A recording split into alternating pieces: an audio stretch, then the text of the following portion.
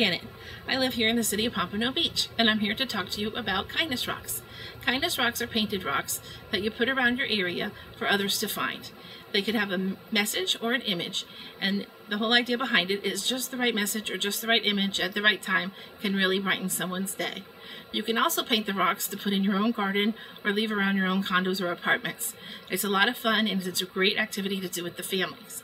If you are going to put them out in the public areas, you do need to follow a few rules. You don't want to put them in any areas where someone could trip, so no walkways. Also, you want to keep them out of the grass so that no lawnmowers roll over the rocks and kick them up and throw them where they could hit somebody. If you go into national parks, they ask that we don't leave them. And also Disney is one of the places that doesn't like us to leave the, the rocks. Uh, for more information about that, you can look at the Leave No Trace website and they give you some ideas on that. So today, what I'm going to do is talk to you about painting rocks. The city has graciously made the packets for you, so everything you need to paint a ladybug rock will be in there. You can paint any image you want, but I figured we'd start with ladybugs because we're getting into spring, and spring is a beautiful time to update our gardens and add some extra color and get out of the house because we've all been locked up for so long. The pictures behind me are just ones I've done. Like again, I said, I'm not a formal artist, but I will do my best to help you and let you step by step how to do a ladybug. Your kit will include paint, paintbrushes, rocks, and the video will be your instructions. So stay tuned and let's paint some rocks. Here we are again. As promised, we're back, and now we're going to paint some ladybugs.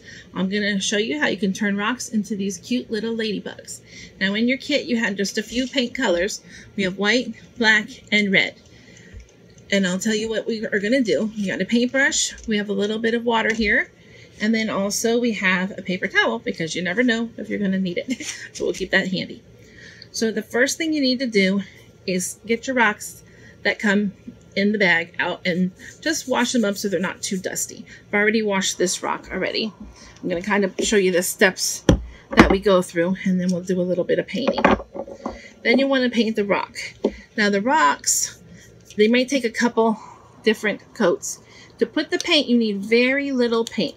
Always shake your bottle. Okay, just make sure you get it all shaken up. And then you want to just put a little dab of paint here. You can always add more. And then you want to put some coats on. You'll probably have a little bit bigger paint brushes. Okay, so you want to add some coats. What I want to show you here is as you're painting, you want to try to keep your brush strokes the same direction so that you don't have um, too many lines in your ladybugs. I'm going to rinse that off.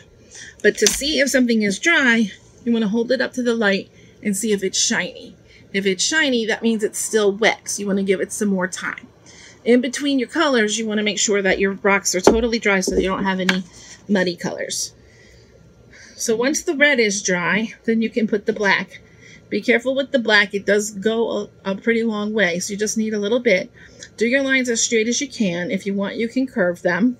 Okay, and then you have the choice. If you want a ladybug that has a split down her back, you just put the line here and then make her little backside so that she has wings. So once you decide which style of ladybug you want, then you can put dots, and I did two here. I did one with smaller dots and one with bigger dots. The easiest way to do a dot, let's get some black paint here. Whoops, oh, I just made my whole thing. Sorry. all right, you want to make sure you got all your color off. Just kind of dab it up there. Now there's a couple ways to do the dots. Let's shake, shake, shake, shake, shake. This paint's a little bit thicker. All right, so let's put a, just a little bit here. You don't need very much to make the dots. Oops. All right. You can either use the back end of your paintbrush or you can use the paintbrush itself. So let's say we were going to make some dots on this rock here. You just kind of put a little dot and then circle, circle, circle. And get it as circly as possible. They don't have to be perfect circles because ladybugs don't always have perfect circles. Or you can take the, the end of your paintbrush and dip it and draw and make a circle. You can also use the end of a pencil or a pencil eraser. So that's how you make your little dots. Once that's totally dry, then you want to go to the faces. And there's a couple ways to do the eyes. You can do a round eye like I did here. You want to start with your white and give your white enough time to dry. Or you can do an angle like with that. So it shows the curve. Once the white is completely dry, you can either put a dot for the eye or you can do a long eyeball that way. And then here you can see I did two different colored faces. I did a red smiling face and I did a white smiling face. Again, I just used the end of my paintbrush, dipped the paint, and I did a little curve just like that. Now let's say we didn't like this white. I wanted to make it red. I could dip this in the red and follow along and color over. So that's one good thing about the paint. If you change your mind about colors, you can always change them. So you see how you can either use the end of your pen, pen or um, paintbrush, or you can actually use the paintbrush end to paint. Let's put that to the side.